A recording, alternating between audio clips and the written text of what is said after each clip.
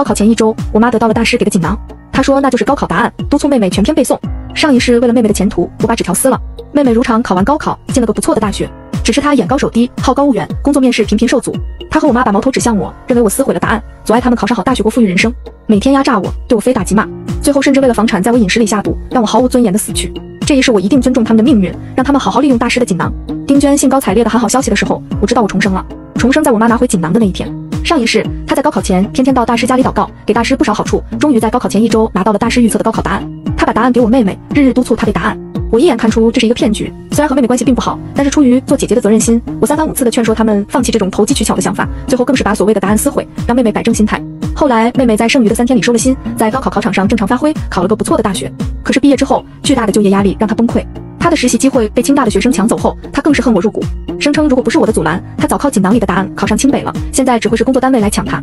我妈也认同他的观点，两人把生活中的不如意全加在我的身上，每天对我非打即骂，最后在我杯中下慢性药，谋图爸爸留给我的财产。我不明白我的血亲为什么要这么对我，直到临死之前，丁娟才告诉我，我只是他买来的孩子。他结婚多年不能生，就从人贩子手里买下了我。买我的第二年怀了孕，他本来想把我遗弃掉。路过的一个大师说我以后必成大器，因为这个他才勉为其难把我留下。明白了真相，经历了生死，我早已清醒。这一世我一定做好一个旁观者，看他们是不是真的可以靠着锦囊扶摇直上。丁娟拿着金色锦囊进门的时候，我正在厨房准备中午的午饭。她眼睛和我对视，连忙把手里的锦囊藏了藏。饭还没做好，怎么不把你拦死算了？看见我第一句话就是挑刺儿，想起上一世他对我的苛待，想起我死前那种痛不欲生，我攥紧了手里的刀，真想一刀解决了他。随后我强忍着怒火，深吸一口气，这样的人不配我偿命。快好了，最后一个菜下锅了，马上开饭。丁娟瞪我一眼，进了马明珠的房间。不多时，里面传来马明珠的惊呼声：“真的吗？啊，太好了，小声点儿。”大师说了，这个只能给一个人用，要不然就不灵了。别让马默默知道。我冷笑一声，还真用不着这么防着我。那东西摆在我面前，我都不会用。很快，那娘俩出来了。我像往常一样低眉顺眼的把饭菜一个个摆上桌。等我把碗一个个放在桌上，马明珠抄起一碗粥，一把甩在我的脸上。上一世也是这样。正值夏季，我穿着短袖校服，满满一碗滚烫的热粥，瞬间把我脸烫出了水泡。我的右手也被殃及，直到高考那天依然火烧火燎的疼。那种钻心的疼痛，我现在都心有余悸。早料到马明珠没憋好屁，所以这次我把粥放凉了。但是该演的戏还是要演啊！妹妹，你干什么？干什么？马默默，你今天可真是威风啊！你以为你是谁呀？我和谁一起玩关你什么事？你还管上我了？还敢告我的状？下次再敢多管闲事，我就把刀甩你脸上！这事儿我知道，马明珠做得出来。马明珠发疯是因为今天我制止她逃课的事情。临近高考，有人挤时间发疯学习，也有人抓住最后的上学时光任性狂欢。马明珠很蠢，但是在我不厌其烦的监督下，成绩也能考二本。可是她认人不清，玩得好的闺蜜心思都不在学习上，那几个家里根本不学习，到处玩乐。马明珠也跟着人家玩。今天在他们准备偷溜出校门的时候，我把马明珠给拽了回来。马上就要高考了，这么重要的大考，你这几天别玩了，收收心，马上就解放了。在门口的几句劝说，恰好被马明珠的男神肖阳听到，他眼睛扫我俩一眼。马明珠觉得很没有面子。后来这事儿不知道怎么被他们班主任知道了，马明珠被老师骂了一顿。这会儿马明珠把各种仇怨全算我身上。我重生过来的时候，这闲事已经管了，我现在还要为上一辈子的自己擦屁股。马明珠见我没回应他，捏着我的脖子，把我的头摁进水池，厚重的油污粘在脸上，下水道的酸腐味道直冲鼻子。我挣扎着躲开。我也是为你好，马上考试了，你想玩也不差这两天。马明珠嗤笑了一声，手指尖重重地点在我的胸口。别以为我不知道你在用这种方式吸引肖阳的注意，你居然利用我去显摆你自己有多懂事。你说你贱不贱啊？我的心里早将他扒皮抽筋，嘴上依然好言相劝。我不认识他，也不会和你抢的。我只希望你好好考试。马明珠推了我一把，脸上的得意掩盖不住。马默默，你管好你自己吧。你一个复读生，有什么资格在我面前说教？哼，这次你再没有考到重本，拿到学校的奖金，你这辈子都别想上大学了。这是我第二次参加高考，第一次我的成绩只是普通一本的档，丁娟不准我上，哪怕我自己申请助学贷款都不行。复读一年还是我班主任出的主意，如果我考到市里前三名，学校会给奖金。这些奖金让丁娟心动了。上一世我唯唯诺诺，因为从小被丁娟洗脑，我对她说的话言听计从，从来不敢反抗，就像一个被输入指令的机器人一样。她让我对妹妹好，我就对妹妹好；她让我不要去上学，我就只能退而求其次选择复读。但我不是机器人，我有自己的思想。丁娟把马明珠拉进怀里安抚，温柔的眼神在看向我的时候，瞬间变变得比冰刀还刺骨。你谁呀？当着那么多人的面说我闺女，一天到晚那么多心眼儿。我告诉你，明珠她比你聪明的多，就算不学也能考得比你好，不用你假好心。我卑微地点了点头，看着丁娟哄着马明珠出去下馆子。第二天，马明珠起得很晚，到教室的时候，第一节课都要结束了。语文老师看到马明珠懒散地走进教室，叹了口气，提醒了一句：“同学们，本来已经要高考了，老师也不想说你们影响你们的心情，但是有的同学的学习态度实在是太差了。这几天很重要，非常重要，大家一定要摆正心态，不要狂，不要傲。现在还没考试呢，拿到名校通知书，你们才有资格。”这话的指向性很明确，不少同学扭头不屑地看着马明珠。他考试成绩中下，他的狂和傲完全没有理由。但是自从马明珠有了那个锦囊，心里十分有底气，从座位上蹭地站起来，把手中的笔猛地摔在桌子上，跟老师对峙。老师，你在说我吗？老师看着他被气笑了。你摔打谁呢？老师提醒你一句，你拿桌笔摔摔打打，你跟我叫板呢？我就是跟你叫板呢。你凭什么看不起人呢？我告诉你，等我考试状元，甚至省状元，我被采访的时候，我一定告诉大家，我的语文老师是多么的菜，天天就知道阴阳怪气。马明珠说完，这下不仅老师笑了，全班都被逗笑了。班里的第一名都不敢这么说话。马明珠成绩一直游荡在四百多分的人，说这话就像是在白日做梦。老师和我对视一眼，轻轻的摇了摇头。行，我等着你考状元，等着你打我的脸。马明珠还不知足，继续说道：“我知道你喜欢马默默，但是我肯定能考得比他好。你不看好的学生，把你最看好的学生踩在脚下，让你知道你的眼光是有多差。”下课铃声响了，语文老师挥挥手示意大家下课。马明珠像是打胜仗一样得意的看着他，然后状似不经意的看向肖阳，这是在吸引肖阳注意。这天以后，马明珠就让丁娟为他请假，剩下的几天他只用在家里背答案，每天拿出三个小时背答案，剩下的时间都在玩游戏，甚至日夜颠倒，每晚都能听到他对着电脑破口大骂的声音。中午我做完饭，马明珠才刚起床，他在桌边坐定，阴恻恻的看着我。马默默，你上次模考考了多少分？马明珠这么问我，应该是在看我的底。考了多分？怎么了？马明珠听完，扭头看着丁娟，妈，你觉得我高考能超过他吗？那必须能。你要是这几天努力一下，肯定能考状元。他算什么？丁娟连忙往马明珠饭碗里夹菜，笑得一脸慈爱，两人母慈子孝，画面温馨。马明珠一脸得意，但瞬间又变了脸色。又是这些菜，天天做这些，你不腻我都腻了。马明珠把筷子一摔，瞪了我一眼，转头冲丁娟撒娇，妈，我不想吃这些东西，我们出去吃吧。丁娟安抚完马明珠，立刻拿着筷子敲打我的碗。剩下的几天多照顾你妹妹，每天你妹想吃啥你做啥。马明珠是个不折不扣的坏种，他有他的锦囊，按理说我对他完全没有威胁，但他却不肯放过我。在他心里，我考得越差，和他的差距越大，他打班主任的脸越狠，所以他变招法的找事儿，每顿饭都让我做程序繁复的菜，大晚上突然进我的房间拉我陪他打游戏，让我没有时间学习，精神萎靡不振。更可恨的是，他把我三年来整理的错题集全部撕毁，那是我最后复习的关键资料。上一世这件事对我的打击很大，我整整两天都无所适从，后来才勉强稳住心态。这事儿我印象深刻，当然不会忘记。离高考还有三天的时候，学校准备放假，老师在交代注意事项的时候，雪白的纸片从楼上洋洋洒洒的飘下来，同学们难掩躁动的内心，不少人捧着一摞书上了天台，在欢呼声、尖叫声里，无数纸片在风中飞扬，那是知识，也是禁锢。我在走廊里发愣，马明珠带着她的一群小姐妹走到我面前，马默默，我就知道你不会参与撕纸活动，所以我帮你撕了。你小箱子里放的那堆资料我全撕了扔了，不用谢我哦。马明珠说完，一眼不眨的看着我，欣赏我脸上出现震惊、痛苦、绝望的神情。那是我的错题集，最重要的东西，你把它们扔了，我接下来几天看什么？你怎么能这样呢？我不像上一世那样飞奔下楼，在一片纸海里寻找那些碎片，而是站在原地哭泣，大声的控诉马明珠的恶行。马明珠，就算你是我的妹妹，你也不能这么任性。那是我最重要的资料，你是我的亲妹妹啊，你为什么这么对我？我的哭声在一片欢乐的氛围里很突兀。没多久，走廊里聚集了不少人，办公室里的老师走过来不少。老师本来就不喜欢同学们的撕纸行为，现在对于马明珠的这种故意使坏行为更是厌恶至极。同班同学都知道马明珠前几天在语文老师面前的叫嚣，现在又把我的重要资料撕毁，他的居心路人皆知。马明珠，你是不是有病啊？你自己不好好学，你害你姐干什么？我的天哪，他真是太狠毒了吧！电视剧里才看到的事儿，居然被我遇到了。马默默真惨，这是不是可以报警啊？这也太坏了吧！以后千万离这种人远一点。众人的言语讽刺和眼神凌迟，让马明珠备受打击。她梗着脖子，苍白无力的反驳：“我没有。”我想起上一世我进入研究所工作，马明珠恨我能跟肖阳一个单位，故意把我放在包里的实验数据泄露出去。如果不是肖阳的力保，我可能早进了监狱，但却再也不能进入研究所工作，再也不能成为一个科学家。那个时候我被众人讨伐，我的痛苦他也该尝尝了。而且我要让他百倍千倍的还。不少同学可怜我的遭遇，纷纷把错题集复印一份送给我，我对此感激不尽。语文老师知道我家的情况，怕我回去被丁娟骂，被马明珠欺负，让我借住在他家。高考前一天，我正在看积累的作文素材，老师突然拍了拍我的肩膀，把他的手机递给了我。班级群里马明珠疯了一样的找我，因为这几天我的手机一直关机，他联系不上我，他又不知道老师的家在哪，这会儿他只能在群里疯狂地辱骂我。看了上面的消息，我才知道马明珠的准考证不见了，蠢货，居然这个时候才发现。我知道他会撕毁我的笔记，早把笔记藏在了班级后面的桌子里，顺便把他的准考证塞在他要撕的纸堆里。毕竟他总是丢三落四的，把准考证丢了也正常。我拿着老师的手机回复：“我是马默默，手机没电了，我没拿你的准考证。你终于出来了，我他妈以为你死了呢。不是你是谁？我把你资料撕了，你报复我，把我的准考证拿走了。你别以为我不知道，你最好快点还给我，不然明早你别想进考场，我考不了试，你也别想考。”马明珠言语粗俗，再加上他平时的所作所为，大家对他没什么好印象，这会在场的几人都为我声援。你别把别人都想成你，我感觉默默肯定不会做这种事的。就是啊，你准考证啥时候丢的？自己丢三落四的赖别人，我真的没有拿，会不会是你放在纸堆里？那天撕纸的时候被你撕掉了？这时，一个马明珠的混混朋友突然回了一句：“我想起来了，那天咱们撕纸的时候，我好像见到过明珠，你是不是把准考证夹在计划本里了？当时撕成碎块的时候，我还觉得眼熟呢。”他的这个朋友是我花一百块钱收买的，一百块钱只有一句台词，他很知足的。这话发完，马明珠隐身了，群里却热闹起来。我去，马明珠有病啊！就是真的绝了，这种缺心眼儿，就这智商还用高考吗？后来是老师下场，让大家好好复习，才让群里消停下来。毕竟关乎高考，学校领导也很重视。晚上的时候，马明珠的准考证补办下来。高考那两天，我过得很顺利，毕竟考过一次。而且上一世我的成绩很不错，我在那个暑假做家教，帮低年级学弟学妹补习功课。那年的高考真题我讲了很多遍，我还是挺有信心的。但是比我更有信心的是马明珠。大师告诉丁娟，考完千万不能对答案，对了答案一切都成定局。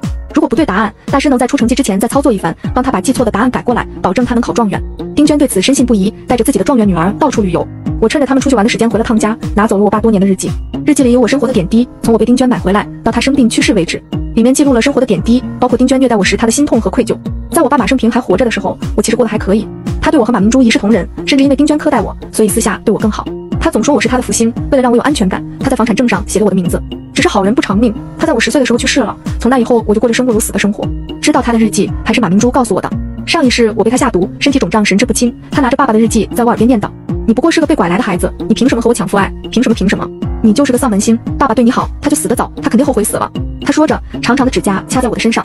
马默默，你知道我为什么要给你下毒吗？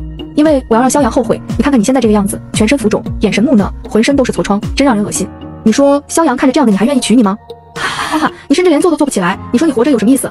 马默默，你早该死了。你死了，我才能拿回属于我的东西了。哪怕我总安慰自己已经过去，但是那种无法支配自己身体的无力感还是让我恐惧。不能走，不能跑，甚至无法坐直，不能思考，不能说话，嘴角永远垂着口水，那是很没有尊严的活法。这都拜马明珠所赐，我永远都不会忘记。丁娟早就打听好了，高考状元，高中学校会给万奖金，考入的高校会给万奖金。附近的一个楼盘正要开盘，正等着学校的状元帮他们宣传呢。听说宣传力度很大，不仅要送状元价值百万的房子，还会给万的奖金。丁娟和马明珠了解情况之后，超前消费，觉得自己成为百万富翁只是时间问题，这些奖励早晚是自己的囊中之物。整个暑期，我都在忙碌的做家教老师，而马明珠在各处旅游，海边沙滩、大型游艇、名牌包包。马明珠的朋友圈成了大家长见识的地方。为了证明自己拍的是实景，每到一个地方，马明珠都会在群里打视频电话。出于好奇，不少同学还是接了起来。马明珠，你家要拆迁了？你怎么这么奢侈？去那么多地方旅游？马明珠歪着脑袋，缓缓把墨镜摘了下来。大家才看到他的脸有了些变化，做了双眼皮，开了眼角，而且鼻梁好像也比之前高了一些。哇，你整容了？这得多少钱啊？马明珠撇撇嘴，歪着脑袋，装作不在意的开口：没多少钱，十几个吧。而且我家没有拆迁，我靠自己成的百万富翁，靠自己拥有的这一切。说着，把手机转向一边的丁娟：我靠自己，所以就带我妈妈出国旅游了。躺在沙滩椅上的丁娟倒是很是配合。谢谢我的宝贝，妈妈最幸福的事情就是有你这个贴心小棉袄。在家闲得无聊的众人更好奇了，马明珠，你做的什么这么赚钱？能带带我吗？我在家都长毛了，我也想赚钱，也想去旅游。其他人听到也纷纷应和。对呀对呀，打游戏打得我脑袋疼，在家太闲了。马明珠嗤笑了一下，拉长声音，懒洋洋地回复大家：哎呀，我的成功是不可复制的，而且你们已经没有机会了。当时我正和肖阳在一家咖啡厅里商量报考那个学校的事情，肖阳被马明珠的话勾起了好奇心，扭头问我，他到底是因为什么这么有钱？贷款啊？嗯嗯。的确是贷款，丁娟和马明珠把我爸爸留下的房子抵押贷款，用这些钱四处旅游，高调买买买。马明珠故弄玄虚，群里不少人被勾得越来越感兴趣，一群人围着他追问到底是因为什么。过了几分钟，马明珠看把大家的胃口吊足了，便开了口：考得足够好就行了，只要考了第一，成了状元，到时候学校奖钱，高校为了争我入学也会奖钱，还有什么房地产开盘啊，大型超市开业呀，为了吸引人，他们都会给钱请我去的。我就是未来的百万富翁，我现在先花点钱也很合理吧？听他说完，一群人愣住了，以为他因为高考压力太大疯了。另一些听到马明珠的畅想，脸都要笑烂了。你去检查过脑子吗？或者去找心理专家看看呢？我每次比你多考多分，考状元这话我吹牛都不敢吹。还有一些女孩子心善，提醒马明珠不要超前消费。马明珠当然不会听了，毕竟昨晚丁娟才收到大师的视频电话，大师蒙人很有一套，把事儿说的有鼻子有眼的。你们家这个马明珠背答案太马虎了，英语答案怎么写错那么多呢？几个阅读理解的答案都被串了。说完，食指蹭了蹭下巴，看丁娟和马明珠被吓得团团转。你这孩子，你怎么背都背不好。丁娟点着马明珠的脑袋数喽，他们花出去那么多钱，不仅包括房子贷款的钱，还有很多信用卡里的钱。如果马明珠考不上状元，那他们大师你可得帮帮我们。不管怎么样，可一定得让孩子得第一呀。你放心，你帮忙了，钱一定到位。大师听到了满意的答复，抬了抬手，淡淡开口：你说的这些我都明白，我昨天做法把答案都修改了过来。这事儿啊，耗费精力呀。说着虚弱的咳嗽了几声。你放心，马明珠的分数没有人会超越，你们只要在分数出来的那天，等着各个高校的抢人电话就行，一切都办妥了。心情坐了一圈过山车的母女俩终于放下了心。为了表达感谢，丁娟又给大师打过去五万块钱。现在马明珠听到有人在质疑她，她当然气恼。你们自己做不到，不代表别人做不到。你们敢不敢跟我打赌？赌什么？如果我得了状元，你们就绕着校园大喊我是废物。马明珠得意的笑了笑，冲镜头挑了挑眉。怎么样？敢不敢？如果你输了呢？如果我输了，我就绕着操场裸奔行了吧？玩这么大？我可录屏了，到时候大家愿赌服输。快出成绩了！群里有人聊报考的事情，马明珠不甘心被忽视，接连在群里发几次大额红包，大家抢得倒是迅速，有几个看透了马明珠的虚荣心，接连不断的捧她，群里叮叮当当的声音一直不断。成绩出来那天，我在自己租住的房间里泪流满面，重来一世，那种得偿所愿的感觉依然让我感动。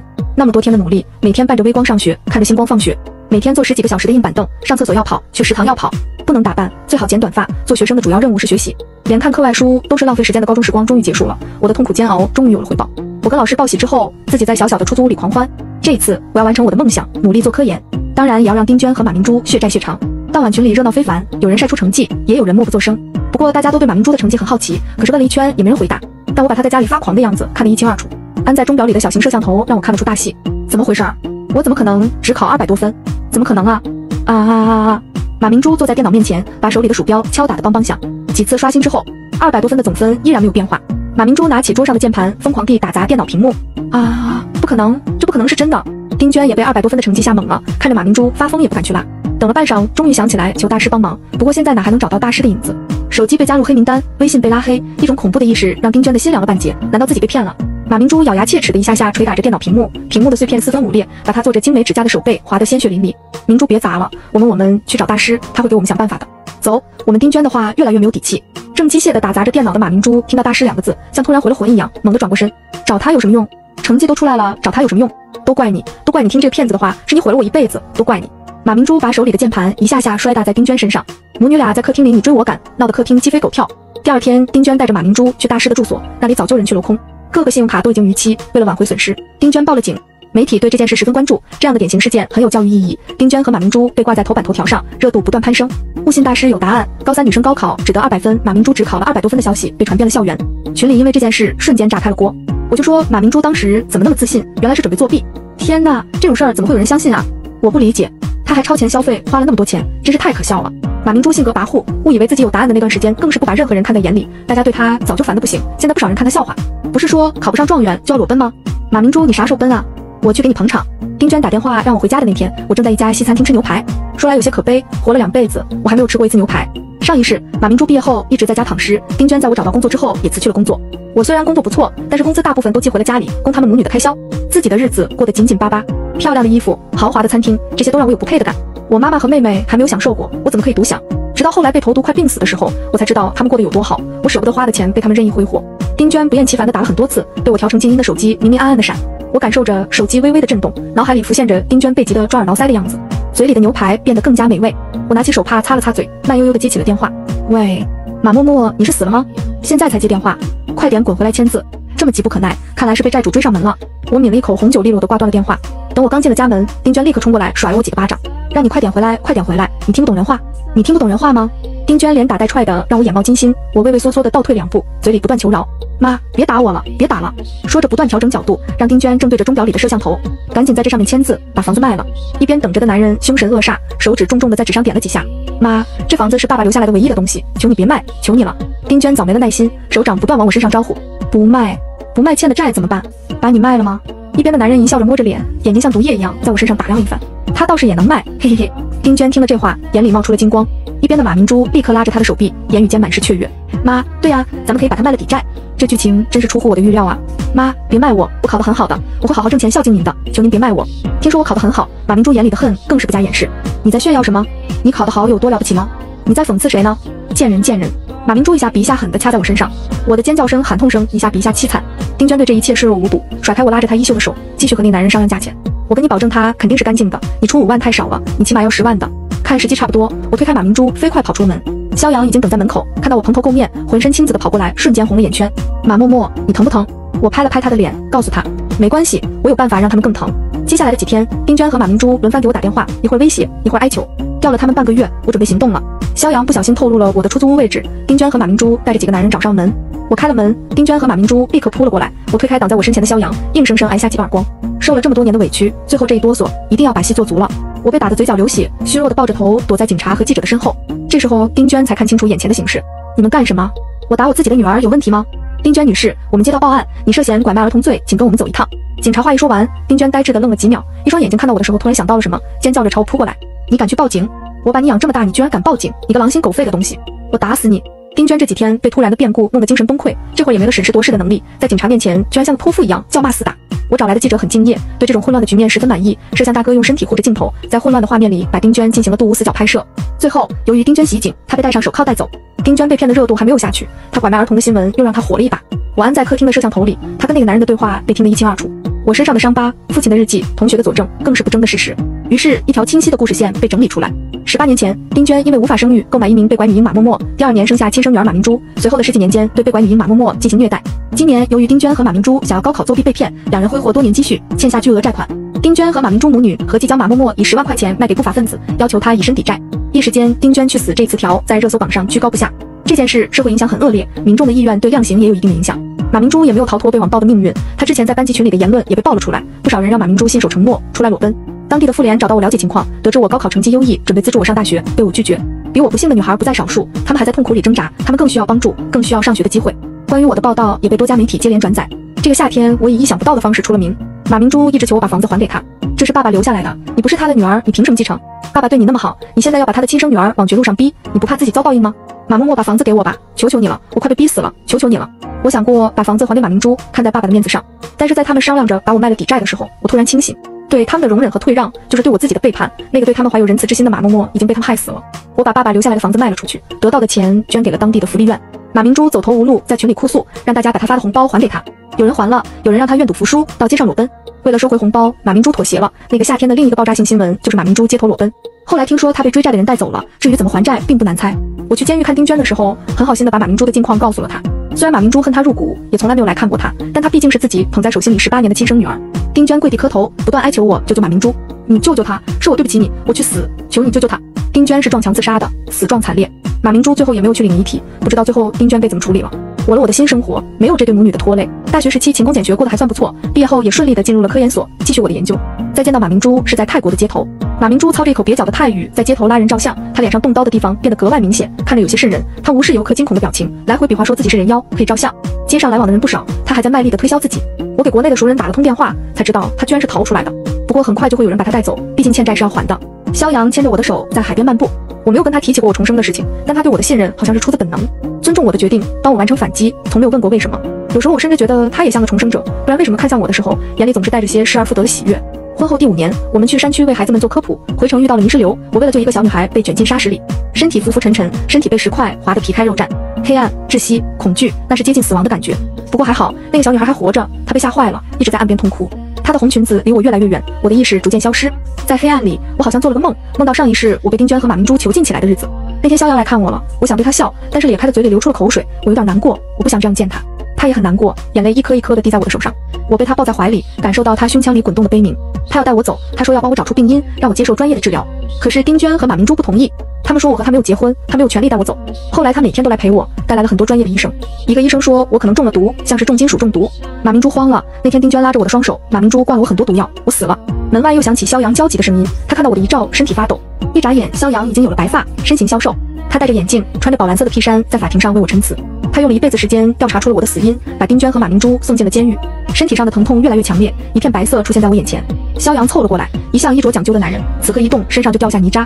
他眼底布满血丝，满脸胡渣，嘴巴干裂起皮，嘴唇颤抖，却始终没有说话。但我知道他要说什么。我告诉他，肖阳，我也很爱你。